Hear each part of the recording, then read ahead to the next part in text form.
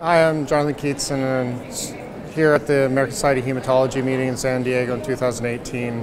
where my group has just published some, presented some of the work we've done on the MMRF COMPASS study, looking at trying to characterize the genomic landscape of multiple myeloma and how it changes with time. And really, the goal of this project and the work we've been doing is trying to translate genomics into the clinic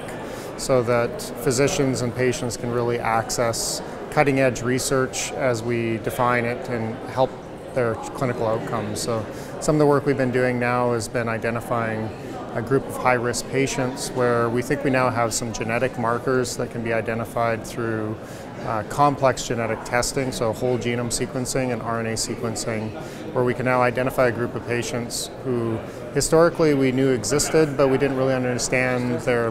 biological mechanism for why they were around and now we can see that there are deletions in the genome that can easily be translated into a clinical lab. And those labs could now identify these patients who are going to be much higher risk of having this a really aggressive phenotype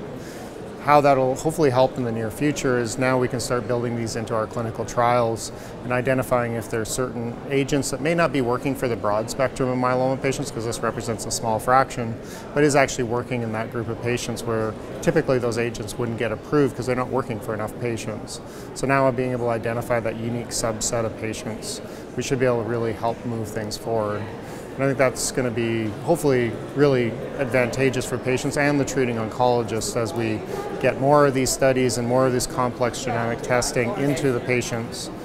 Uh, that now treating oncologists see those kind of reports. To have to spend a lot of time now really educating physicians on how to leverage that kind of data. It's a lot of information for them to process in a short clinical visit. So finding ways to increase uh, that their understanding of those reports so that they can communicate to their patients and the patients can ultimately really benefit from all that advanced information will be what will be the challenges going ahead, I think.